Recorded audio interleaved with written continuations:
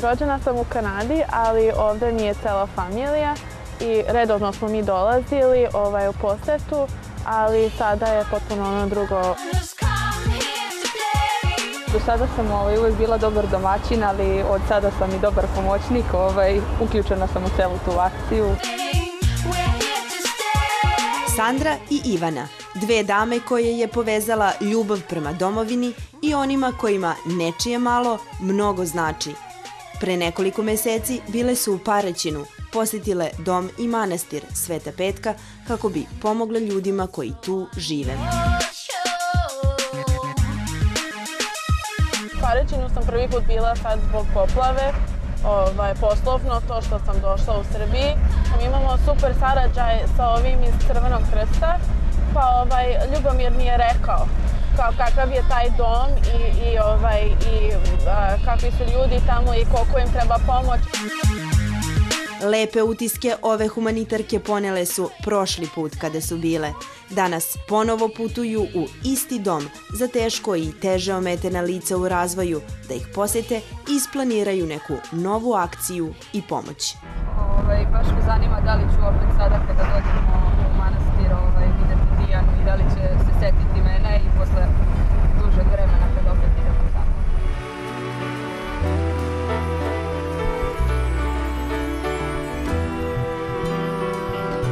Dobar dan. Ćao!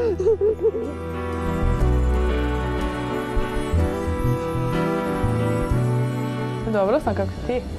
Ovaj dom jedinstvena je ustanova socijalne zaštite zbog prožimanja države i crkve.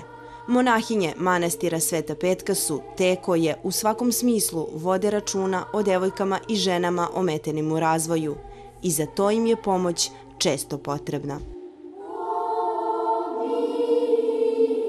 Njima je potrebna pomoć, oni ne mogu sami, potrebna im je i fizička i psihička pomoć.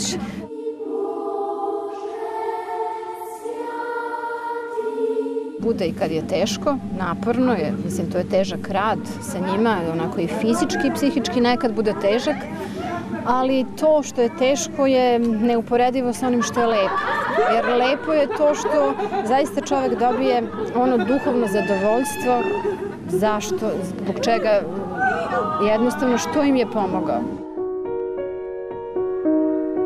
Isto ili slično zadovoljstvo dovelo je ovde i Sandru i njene kolege iz humanitarne organizacije 28. jun.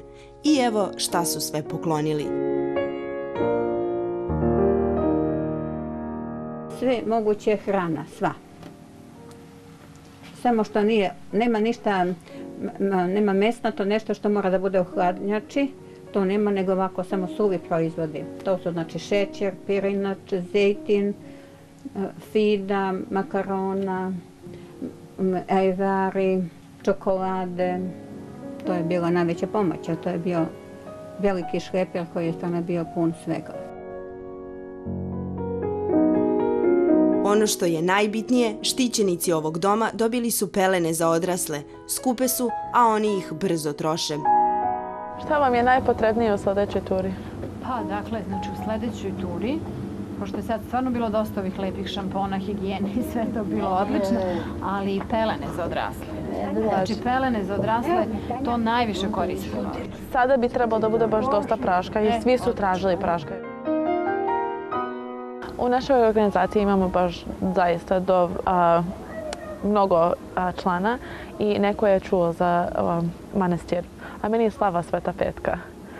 Pa mi je ono baš leglo ovaj, i čuli smo da im je baš potrebno taj pomoć i kakav je dom.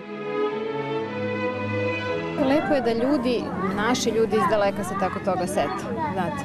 I oni su stvarno ovako bili diskretni. Znate, došao je kamion, to se istovaralo, tako sve to. I onda su se odjednom pojavili kao koja su ova deca, neke devojke, pa kao mi smo to, znate bez ikakve, evo do, sad ste došli kao televizija, ali bez ičeg, bez ikakve neke pompe i nekog hvaljenja.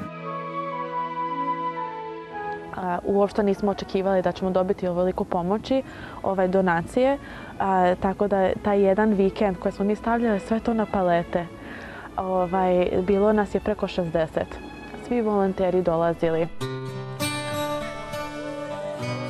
Upravo ta organizovanost i saosećajnost podstakla je i organizaciju 28. jun da nastavi dalje, da prikuplja pomoć i da se bori za one kojima je ona potrebna.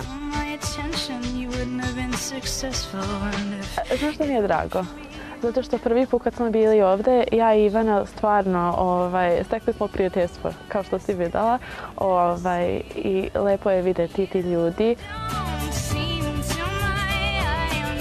U njihovom slučaju jasno je da je malo potrebno da neko bude zadovoljan, a kako će se stvari dalje odvijati, Sandra iz Srbije to radi ovako.